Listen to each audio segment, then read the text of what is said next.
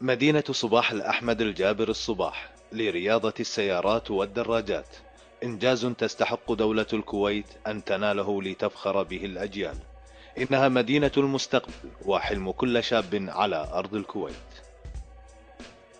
لقد تم تصميم المدينة لتكون على أعلى المستويات العالمية لتنافس أكبر المدن المشابهة في العالم.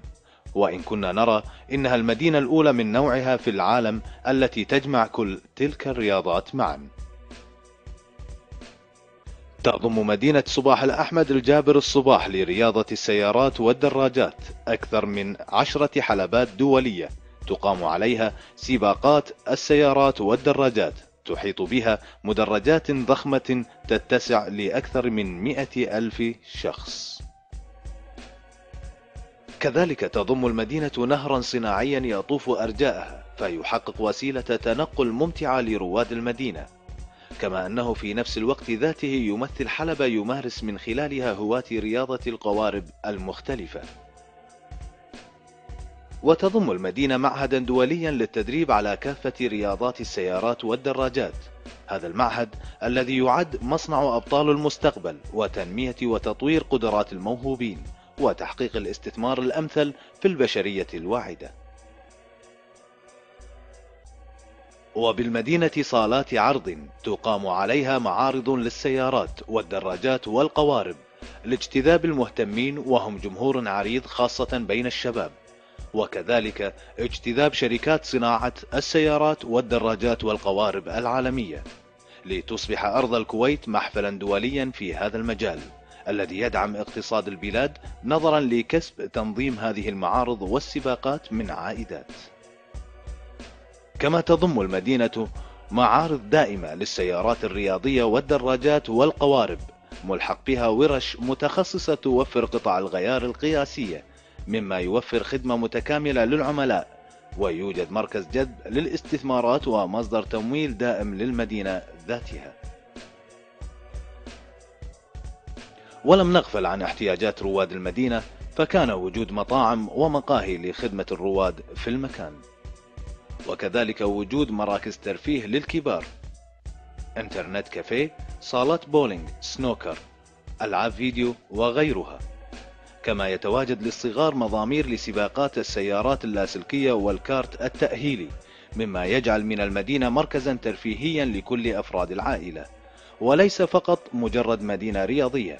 وبالطبع فإن كل هذه الأمور تمثل مصدر دخل آخر لتمويل المدينة والعمل على استمرارها.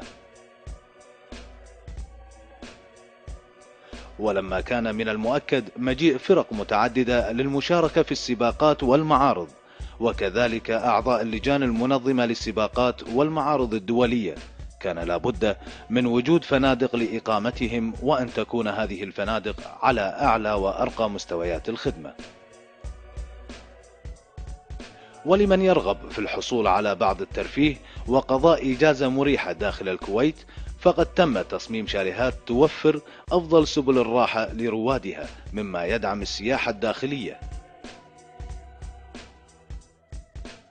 ولما كانت المدينة في الأساس هي مدينة رياضية فلم نغفل عن احتياجات الرياضيين وكذلك زوار المدينة لممارسة رياضات تبني أجسادهم بأفضل السبل. فهناك صالات للرياضة البدنية وأحواض للسباحة. إن المدينة تضم كل هذه النشاطات التي تسعى العديد من المحطات التلفزيونية والجهات الإعلامية المختلفة لتغطيتها. فمن الطبيعي أن تكون بحاجة ماسة لتضم استديو نقل تلفزيوني متطور يلبي كافة الاحتياجات منها الانتشار الإعلامي والعائدات من الإعلانات. كما أن مدينة بهذه الضخامة لا بد وأن يتواجد بها مركز شرطة ومركز إطفاء ومركز صحي متخصص في الإسعافات والعلاج الكامل والعمليات التي قد يحتاجها رواد المدينة تحت أي ظرف. ولا شك حتى تتوفر الخدمة وتصبح متكاملة. أعد مقرا لخدمة المواطن حتى يكفل له توفير كل احتياجاته. كما تحتوي المدينة على مهبط لطائرات الهليكوبتر نظرا للاحتمالية الكبيرة للاحتياج لتوافر مثل هذه الخدمة في مدينة بهذه الضخامة. ولتكتمل أهداف المدينة كان وجود قاعات سينما ومسرح ضروريا مما يجذب مزيدا من الزوار للمدينة حتى لو كانوا من غير المهتمين برياضات السيارات والدراجات والقوارب. ومن المخطط أن تفتح المدينة أمام العاملين أبوابها في مجال إنتاج الأعمال الفنية التلفزيونية والسينمائية كموقع تصوير طبيعي سواء على مستوى التصوير الداخلي أو التصوير في الأماكن المفتوحة لمن يرغب في استغلاله. لإكساب الأعمال الفنية الكويتية جماليات بصرية جديدة وممتعة بل وفتح الباب لطرح موضوعات جديدة ومختلفة داخل الأعمال الفنية الكويتية. وكذلك جذب وانتشار إعلامي وإعلاني. بل ومن الممكن أن يوفر الكثير من الأموال التي تذهب خارج الوطن العربي والمنطقة لتنفيذ مثل هذه الأعمال واحتوائها داخل منظومة الاقتصاد الكويتي.